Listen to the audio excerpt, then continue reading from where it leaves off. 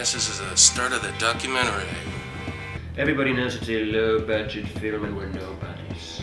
We went to a film festival and felt like everybody was looking at us like we were jokes. Just a couple of guys from Texas that asked nicely if they could make the movie. Offered to work on it for free for sandwiches and beer.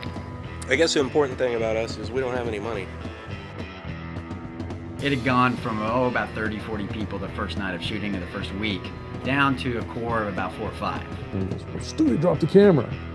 And of course, there was a pretty good dent in the camera. Seven hours in the makeup chair. It was like 28 degrees outside. Do You guys realize just how how weird that what's going on with you is compared to other people? Having the house changed into the movie set, which was a condemned house. So his wife kind of had to move into it. There are some people that tend to be full of themselves. Is this a good angle? Because I don't like the... My eyes are gonna look like this. Alfred Hitchcock used to film everything in a suit and, you know, do wears his boxers. We made a cop car for, I don't know, about $300. What is the, the actual title of this movie? Some repo Hawaiian It was a bit weird, a bit wacky. Russian TV. It looked kind of disjointed. He's come down from Mars. Excuse my French. After 20 years. Some kind of alien thing. One man's adventure with the rest of the free world. Something to do with rats. Money isn't everything. Super Ray stealing our thoughts. Chick problems, work problems. I just remember it was funny. You know what I'm saying, Bob? Name's Waldo, sir. Whatever. It's called Waldo's Hawaiian Holiday. Technically the sequel to Repo Man. Pretty much descend on a location, shoot a commando, and then blow as fast as we can.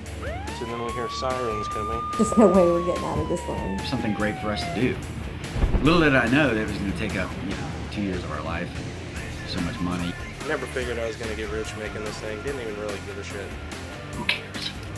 Stewart rarely showed up on time, and when he did, he was not sober, but other than that, he's a true professional. We actually chased down Hurricane Rita. It's coming down in sheets and it's getting more sideways. You're screaming to out to get help. I knew that it was doomed from the very beginning. And how am I supposed to get anyone else to jump on board? All of a sudden, something blew up. This asshole's obviously not sticking with us. There'll come a day when you wished you were dead.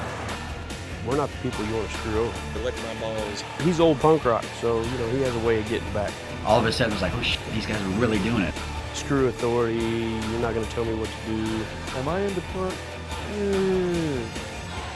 We're just watching him spin around in a toilet, and he's one of those fart turds, you know, that you flush five times, it will not go down because it's like got air bubbles in it.